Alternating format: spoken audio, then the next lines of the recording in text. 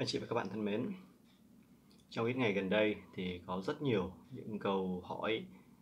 cũng như là những cái băn khoăn của quý anh chị và các bạn đặt ra cho kênh Thắng ơi TV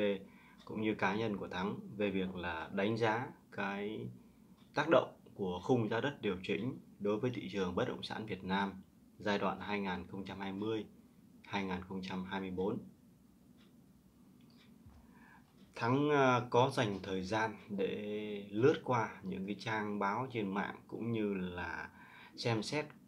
tham khảo thêm những cái đánh giá của một số các cái chuyên gia hoạt động trong lĩnh vực bất động sản cũng như là những cái nhà báo có nhiều kinh nghiệm trong lĩnh vực bất động sản về việc đánh giá cái tác động này. Tuy vậy thì thông tin ờ, nó khá là mông lung. Đánh giá có tác động cũng rất nhiều người và đánh giá không tác động cũng không ít người. Thì sau đây là chia sẻ riêng của, cảm nhận riêng của Thắng ơi về cái đánh giá tác động của việc điều chỉnh khung giá đất tới thị trường bất động sản Việt Nam giai đoạn 2020 2024. Thì trước khi đi vào đánh giá cái tác động thì chúng ta phải cùng nhau hiểu rõ và phân biệt rõ những cái quy định của nhà nước tác động cụ thể tới các văn bản khác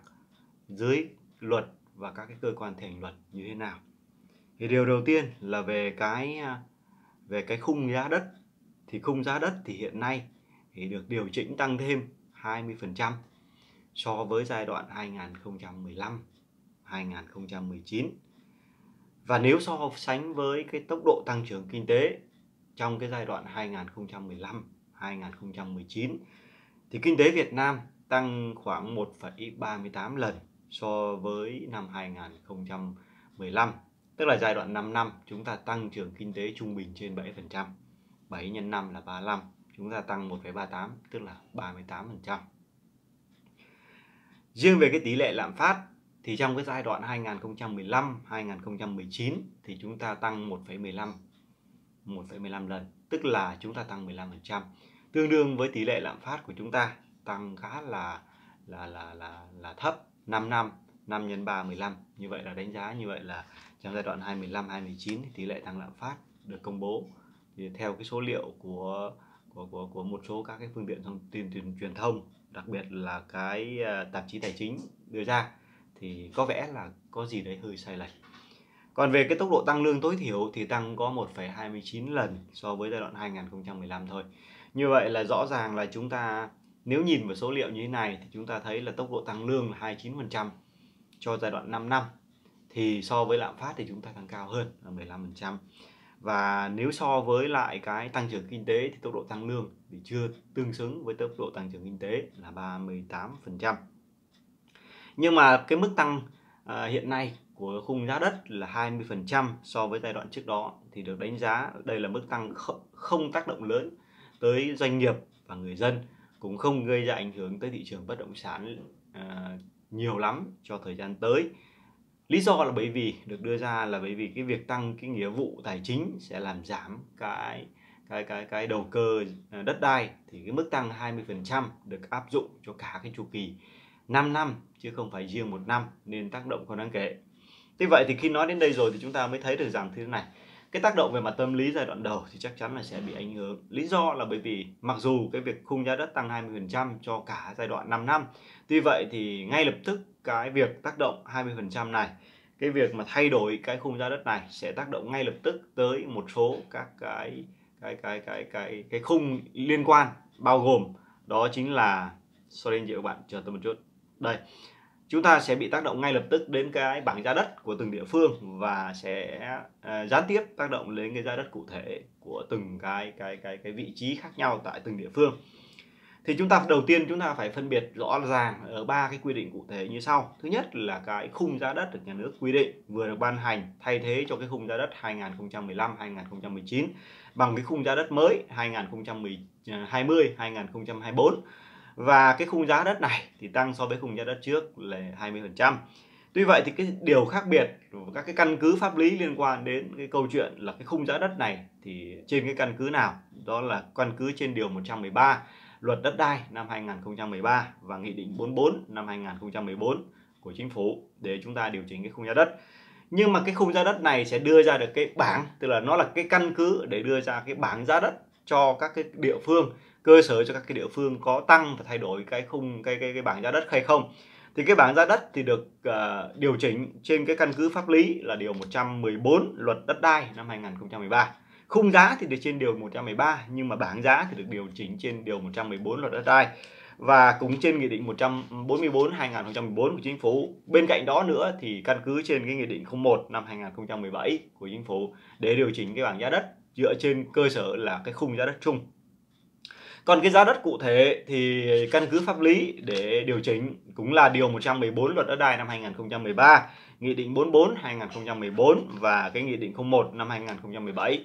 Vậy cái khác nhau về cái khái niệm của ba cái vấn đề này để chúng ta hiểu rõ được rằng là cái khung giá đất và cái bảng giá đất ở từng địa phương nó khác nhau và cái giá đất cụ thể nó lại khác nhau nữa nên là chúng ta cần phải hiểu về cái khái niệm cụ thể như sau.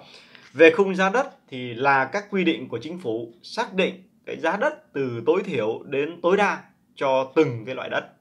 cho từng cái loại đất. Và hiện nay tối thiểu là 120.000 và tối đa là 162 triệu đồng cho nhiều các cái phân khúc khác nhau ở từng địa phương và từng cái khu vực vùng miền khác nhau. Chúng ta tiệu chung lại là cái khung giá đất hiện nay đã được quy định mới là từ à, từ từ từ từ 120 đến 162 triệu. Đó là một cái khung cái khung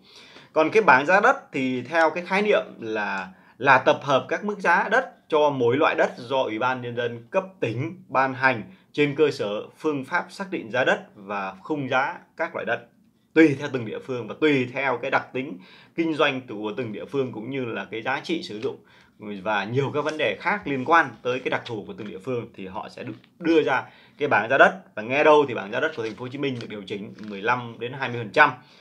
à, ngày hôm qua thì à, một số cái khuyến nghị cho rằng là là cái bảng giá đất của thành phố Hồ Chí Minh thì không thay đổi. Hà Nội thay đổi 10 10 đến 15 phần trăm.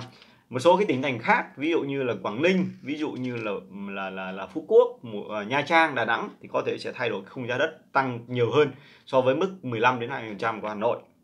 À, sorry cái bảng giá đất. Đấy rồi. Còn về cái khái niệm về giá đất cụ thể đây là một cái khái niệm để, để chúng ta biết được rằng là cái giá hiện nay đang giao dịch trên thị trường thì nó là giá đất theo mục đích sử dụng đất và thời hạn sử dụng đất ghi trong quyết định giao đất cho thuê đất công nhận quyền sử dụng đất và cái quyết định thu hồi đất được ủy ban nhân dân cấp tỉnh xây dựng. Cái giá này là nó sẽ là là là là, là đưa ra một cái giá đất cụ thể cụ thể hơn. Và thưa anh chị và các bạn thì à, cơ quan nào là cái cơ quan ban hành cho từng cái cái cái cái vấn đề này? Thì về cái khung giá đất thì chính phủ ban hành. Về cái bảng giá đất thì ủy ban nhân dân cấp tỉnh sau khi trình hội đồng nhân dân à, cùng cung cấp để thông qua. Còn à, cái giá đất cụ thể thì do ủy ban nhân dân cấp tỉnh ban hành. Rồi, về cái thời hạn à, thời hạn ban hành thì cả cái khung giá đất và cái bảng giá đất đều được xây dựng định kỳ 5 năm một lần đối với từng loại đất theo từng vùng thì cái câu chuyện mà thay đổi cái khung giá đất này thì chúng ta không còn lạ gì nữa. Nếu như những người làm trong lĩnh vực bất động sản sẽ luôn luôn hiểu và luôn luôn nắm trước được cái tình hình là cứ sau 5 năm thì chúng ta sẽ có việc thay đổi cái khung giá và cái bảng giá. Do đó thì cái câu chuyện giai đoạn 2015 2019 kết thúc thì giai đoạn 2020 2024 ban hành một cái khung giá đất mới là là là không có gì gọi là là là mới mẻ cả. Nó là cái điều thường xuyên rồi các cái vấn đề các cái vị sự việc thường xuyên rồi. Nên chúng ta không có mấy bất ngờ trong cái vấn đề này. Và các cái trường hợp áp dụng trong à, cả ba cái bảng bảng tính là cái bảng khung giá đất bảng giá đất và giá đất uh, thực tế. Giá đất uh, nó gọi gọi chung là là là là giá đất cụ thể. Thì được tính là như thế nào thì cái trường hợp áp dụng là cái khung giá đất sẽ được sử dụng làm căn cứ để ủy ban nhân dân cấp tỉnh quy định bảng giá đất tại địa phương. Chứ cái khung giá đất không được sử dụng để áp dụng cho cái bảng, cái cái gọi là cái giá đất cụ thể. Và cái bảng giá đất thì được, để dùng để sử dụng cho việc gì? Thì dùng để việc là để tính tiền sử dụng đất khi mà nhà nước công nhận quyền sử dụng đất của hộ gia đình, cá nhân trong hạn mức. Như vậy rõ ràng cái khung giá đất thay đổi thì cái bảng giá đất có khuynh hướng sẽ thay đổi tùy theo từng địa phương. Thì thì cái việc ban hành của từng địa phương sẽ được ban hành trong thời gian sắp tới. Hà Nội thì ban hành rồi thì như vậy nó sẽ tác động chúng ta phải hiểu được cái vấn đề tác động rồi chúng ta mới biết là nó tác động đến thị trường bất động sản như thế nào. Thì nó sẽ tác động đến cái việc là cái cái cái cái cái cái, cái tính tiền sử dụng đất cho cái, cái khi nhà nước ờ, mà công nhận cái quyền sử dụng đất của hộ gia đình cá nhân uh, trong cái hạn mức bảng giá đất. Và cái bảng giá đất thì cho phép chuyển mục đích sử dụng đất từ đất nông nghiệp rồi đất phi nông nghiệp không phải là đất ở sang đất ờ, ở trong cái hạn mức mà được giao đất ở thì nó sử dụng cho cái câu chuyện như sau là tính thuế sử dụng đất tính phí và lệ phí tính tiền xử phạt vi phạm hành chính tính tiền bồi thường cho nhà nước khi mà gây thiệt hại hoặc là tính giá à, giá trị của quyền à, sử dụng đất để trả cho người tự nguyện trả lại đất cho nhà nước cho những cái công việc mà liên quan đến đền bù giải tỏa. Thì như vậy thì rõ ràng là chúng ta thấy là là là là là nó ảnh hưởng nó ảnh hưởng đến đến đến đến cái tính tiền sử dụng đất và nó ảnh hưởng đến cái cái cái những cái phí thuế rõ ràng là ảnh hưởng 15 10 đến 15 phần trăm. Và hiện nay thì theo cái số liệu chúng tôi được biết thì uh, các cái tiền sử dụng đất này thì nó chiếm khoảng 10 phần trăm trên tổng cái giá trị mà mà mà mà, mà gọi là đất uh, sử dụng trên cái giá thành của sản phẩm anh chị ạ. Nó chiếm khoảng 10 đến 12 phần trăm. Nên chắc chắn nó sẽ ảnh hưởng từ 10 đến 12 phần trăm còn về cái mà tôi gọi là giá đất cụ thể thì nó sẽ tác động như thế nào? Thì cái giá đất cụ thể sẽ tính tiền bồi thường khi nhà nước thu hồi đất. Tính tiền sử dụng đất khi nhà nước công nhận quyền sử dụng đất của hộ gia đình, cá nhân đối với phần diện tích đất ở vượt cái hạn mức. Trong cái hạn mức thì chúng ta sử dụng bảng giá đất, còn vượt hạn mức thì chúng ta sẽ dùng cái cái gọi là bảng giá đất cụ thể đấy nhiều anh chị các bạn kinh doanh việc bất động sản nhưng chưa chưa chắc đã nắm và, và hiểu rõ vấn đề này. Thứ hai nữa là chúng ta sẽ cái cái cái giá đất cụ thể sẽ sử dụng trong việc là tính tiền thuê đất đối với đất nông nghiệp vượt hạn mức giao đất vượt hạn mức nhận quyền quyền uh, quản lý và sử dụng đất. Đó là chúng ta chỉ cái bảng giá đất cụ thể chỉ dùng cho cái phần phần vượt thôi anh chị các bạn. Và tính giá trị quyền sử dụng đất khi có phần uh, khi cổ phần hóa doanh nghiệp nhà nước cái giá đất cụ thể nó tác động đến cái cái cái cái cái cái cái quyền ờ, gọi là cái khi mà chúng ta cổ phần hóa doanh nghiệp nhà nước thì nó sẽ thay đổi cái cái cái cái tính tiền. Đấy, đó đó là một vài cái vấn đề là là là là chúng ta thấy là cái giá trị của của đất khi mà cái thay đổi như thế này nó sẽ tác động.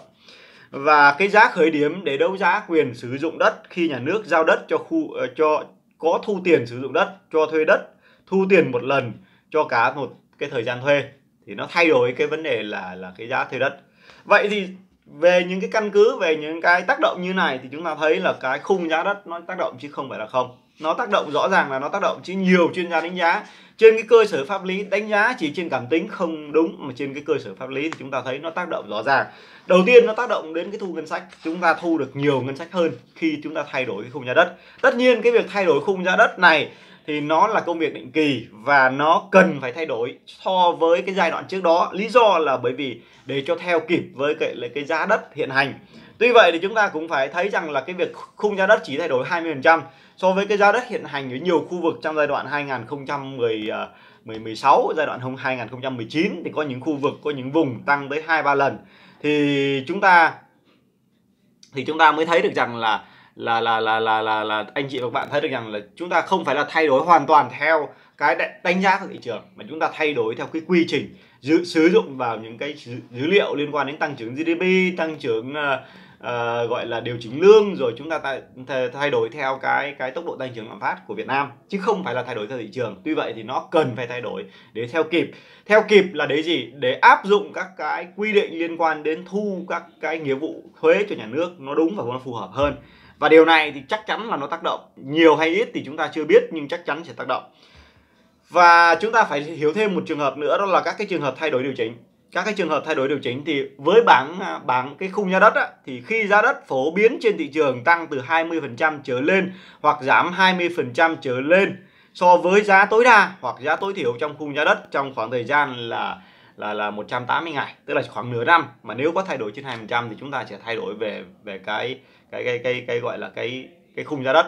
Tuy vậy thì chúng ta gần 5 năm rồi chúng ta không thay đổi khung giá đất thì chúng ta thay đổi là đúng thôi. Đây là cái trường hợp là, là theo quy định rồi. Theo cái trường hợp thay đổi điều chỉnh là là bắt buộc rồi. Bởi vì trong 5 năm vừa qua là chúng ta tăng giá đất khá là nhiều anh chị và bạn.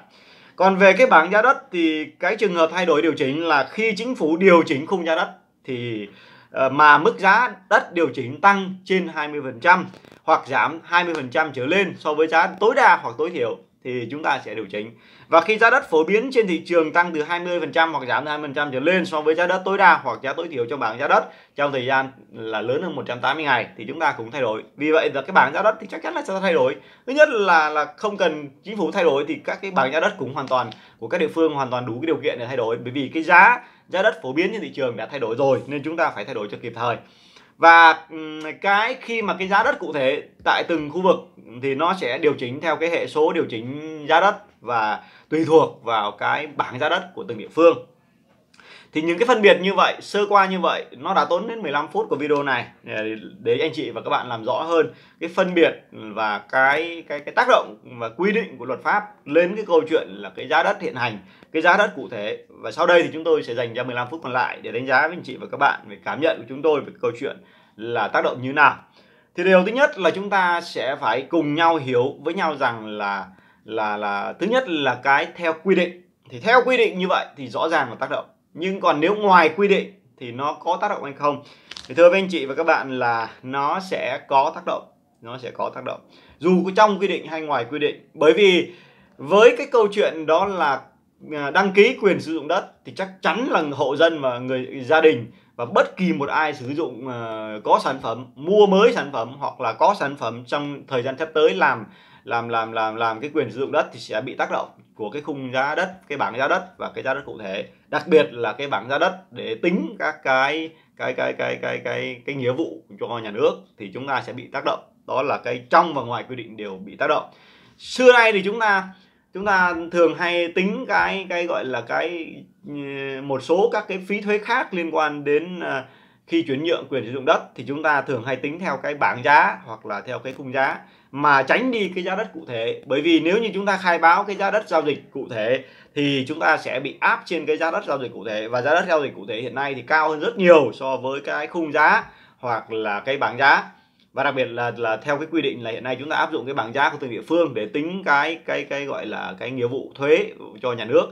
Vậy thì khi mà thay đổi cái điều này thì dù anh chị và các bạn có lách luật đi chăng nữa thì chúng ta vẫn phải nộp nhiều hơn cái nghĩa vụ thuế cho nhà nước. Mặc dù chúng ta không có thể dùng một số biện pháp nào đó để khai không đúng với thực tế, không đúng với cái giá trị giao dịch của cái sản phẩm bất động sản của mình. Nhưng dù anh chị khai đúng hay khai sai thì cái việc khi thay đổi về cái bảng giá à, để tính cái tiền sử dụng đất thì chúng ta vẫn phải nộp cao hơn so với thông thường. Và chắc chắn rằng là ngay lập tức thì nó ảnh hưởng, chứ sao không ảnh hưởng? Và nó ảnh hưởng đến giá đất thì đương nhiên là giá bất động sản sẽ có khuynh hướng gia tăng, chứ không thể không tăng được. Đó là điều chắc chắn còn nhiều chuyên gia trên thị trường thì lại cho một vài cái đánh giá khác mà chúng ta cũng có thể cùng nhau chia sẻ. Ví dụ như trong trường hợp là một số cái uh, cái gọi là các cái ông chủ dự án thì xưa đến nay thì để mà mà mà mà uh, gọi là có một cái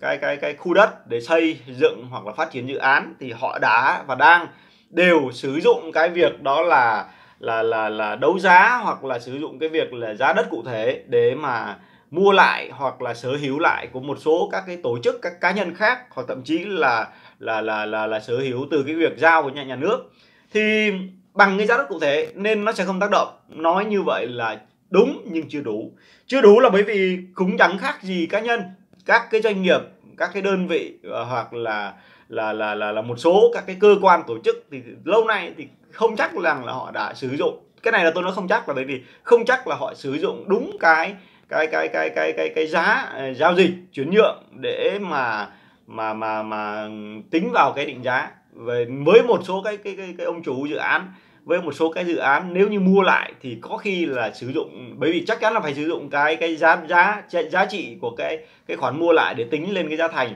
Tuy vậy thì không thiếu những cái dự án là được giao đất và cái giá uh, gọi là khi mà mà mà mà tính cái, các cái nghĩa vụ với nhà nước thì chúng ta đều phải tính trên cái căn cứ là cái giá giao đất và đương nhiên cái cái gọi là cái thành phẩm. Để để có thành phẩm thì cái chi phí ban đầu của các cái phần đất giao này sẽ tăng cao hơn và nó dẫn đến câu chuyện là sẽ tác động đến giá đất trên thị trường.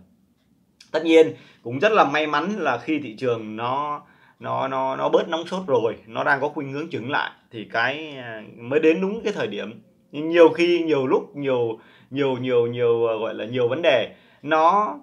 thường hay đến vào những thời điểm rất là phù hợp. Bởi vì hiện nay thì cái nhu cầu à, hoặc là cái số lượng giao dịch thị trường bất động sản đang trầm lắng trở lại. Và chính vì cái việc nó trầm lắng như thế, nó nó nó nó nó nó nó nó không thực sự là quá nóng sốt, thì cái việc tăng cái khung giá đất này thì nó sẽ có ảnh hưởng nhưng nó bớt ảnh hưởng đi. Nó bớt ảnh hưởng, nó bớt đi tạo ra một cái chất xúc tác để đẩy giá hoặc là đầu cơ, thúc đẩy đẩy đầu cơ trên thị trường bất động sản.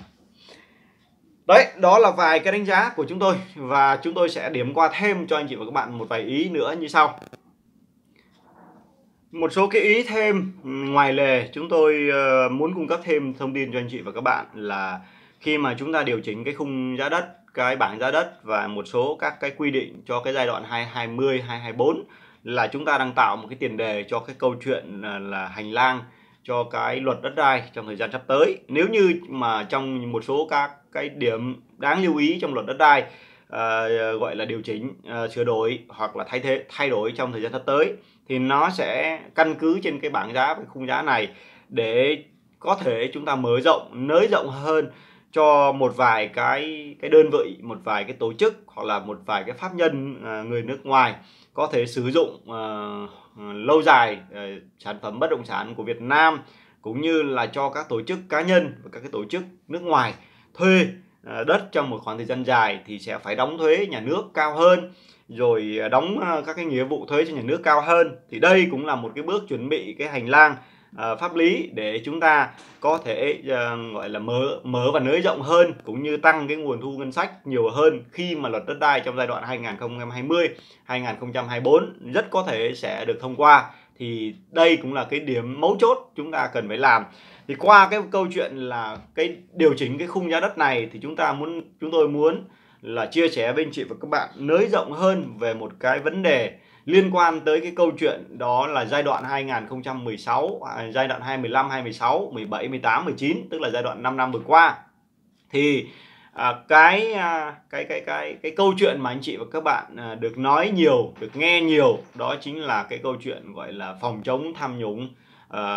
quyết liệt à, và không có vùng cấm cũng như là đã đẩy cao À, đến một cái mức độ rất là mạnh mẽ à, được các cái phương tiện thông tin truyền thông là công bố tới quý anh chị và các bạn. Rất nhiều các cán bộ cao cấp rất nhiều các cái cái tướng tá trong các lực lượng vũ trang quân đội công an rồi rất nhiều ủy chủ tịch ủy ban các uh, thành phố các cái tỉnh thành rồi các cái thứ trưởng bộ trưởng ngang bộ rồi thậm chí ủy viên trung ương đảng cũng đều uh, được gọi là xử lý nghiêm minh đúng người đúng tội và không gây ra những cái gọi là cái cái cái cái cái phản kháng quá mức cũng như là gần như là rất là tâm phục khẩu phục. À, cái điều này nó làm à, được một vài điểm mà anh chị và các bạn thấy đó là nó tạo thêm được cái gọi là lấy lại được cái niềm tin của dân chúng cho cái cơ quan điều hành cho chính phủ nói chung uh, cho nhà nước cho nhân dân.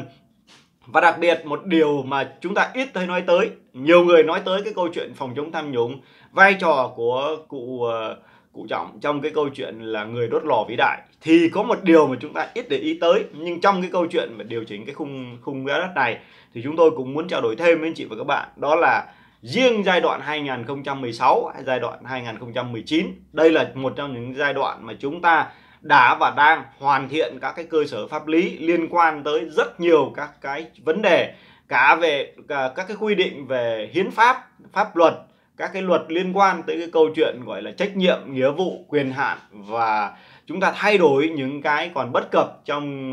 rất nhiều các cái điều luật luật chứng khoán, rồi luật tố tụng, rồi luật rất nhiều các bộ luật khác nhau, cũng như là quy định rõ hơn ờ, và thay đổi ờ, cơ bản trong cái câu chuyện quản lý kinh tế, trong cái việc là thay đổi ờ, một số các cái điều khoản lớn trong hiến pháp nhà nước liên quan đến câu chuyện là không hình sự hóa các mối quan hệ kinh tế. Và rất rất nhiều những cái văn bản liên quan dưới luật và thi hành luật được chính phủ trong giai đoạn vừa qua đã và đang thay đổi, sửa đổi và bổ bổ sung kịp thời để chấn chỉnh cũng như là lấp đầy những cái lỗ chống pháp lý. Cũng như thêm bên cạnh đó thì chúng ta ờ, có một cái hành lang pháp lý chặt chẽ hơn trong cái câu chuyện là xử lý những cái hành vi gây thất thoát cho nhà nước, gây thất thoát vốn cho nhà nước và gây ra những cái mất mát về ngân sách cũng như là uh, những cái quyết định uh, trong cái cái cái cái việc ra gọi là ra cái quyết định đầu tư hoặc là quyết định thông qua những cái vấn đề đầu tư công uh, gây ra thiệt hại nặng nề trong những giai đoạn trước đó. Điều này nó là điều cực kỳ tốt nếu như mà dưới cái góc nhìn của dân đầu tư nói riêng uh, của chúng tôi. Và đối với lại những cái người làm kinh tế nói chung thì rõ ràng khi những cái quy định pháp lý nó có phần nào đấy chưa thực sự là là thỏa mãn được tất cả những cái mong muốn mong đợi của các doanh nghiệp của các cái uh, sở ban ngành địa phương của quần chúng nhân dân và của những người làm công tác uh, gọi là uh, kinh tế rồi những người làm trong các cái công tác an ninh quốc phòng. Uh, thì nhưng mà uh, nó đã một phần nào đó cải cải thiện đáng kể và nó tạo tiền đề cho cái giai đoạn 2020 2024 là một cái giai đoạn thực sự nó sẽ là cái giai đoạn cất cánh cho cái nền kinh tế xã hội Việt Nam và nó cũng tạo tiền đề cho cái câu chuyện là chúng ta có đầy đủ các cái hành lang pháp lý để chúng ta dám làm hơn, uh, dám chịu trách nhiệm hơn cũng như là dám thúc đẩy những cái vấn đề mà nó uh, có nhiều cái điểm gọi là tích cực uh, để thúc đẩy cái sự phát triển của kinh tế nước nhà. Hy vọng rằng là những thứ uh, những việc mà giai đoạn 2015 2019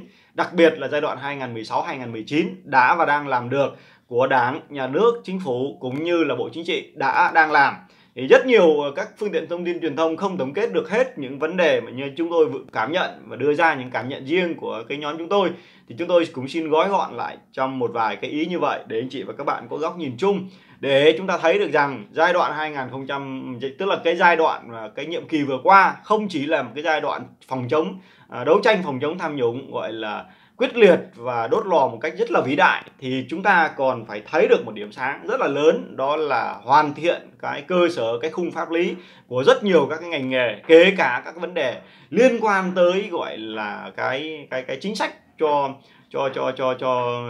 gọi là những cái chính sách những cái quyền lợi cho các cái bộ phận đặc biệt quan trọng an ninh quốc phòng cũng đang được thay đổi cả các vấn đề như nhân sự, tái cấu trúc các vấn đề nhân sự của các cái cơ quan gọi là dân chính đảng cũng đang thay đổi rất là quyết liệt. Và hy vọng nó sẽ là điểm tốt, điểm tích cực. Chúng tôi cũng chỉ mong một cái điều là đất nước Việt Nam giai đoạn 2020 giai đoạn 2030 sẽ rực sáng và sẽ hùng cường, giống như những cái cái cái cái bài chia sẻ cũng như là những cái cái cái cái cái thông tin mà truyền thông hiện nay đang đưa ra với cái câu chuyện tất cả vì một Việt Nam hùng cường. Nếu chúng ta cùng cảm nhận với Thắng ơi cùng những cái à, cái cái yêu thích cái kênh của Thắng ơi thì xin để lại những cái like cảm đưa ra cái cảm nhận của cá nhân anh chị và các bạn. Cũng như là nếu được thì anh chị và các bạn có thể chia, chia sẻ video này tới người thân tới bạn bè và tới tới tới tới tất cả những cái à, gọi là bạn hiểu để có thể cùng nhau chúng ta chung tay xây dựng một Việt Nam hùng cường trong giai đoạn 2020 2030 thân chào và hẹn gặp lại quý anh chị em và các bạn. Video đã quá dài. Rất rất cảm ơn anh chị em và các bạn đã bớt chút thời gian xem video này. Thân chào và hẹn gặp lại.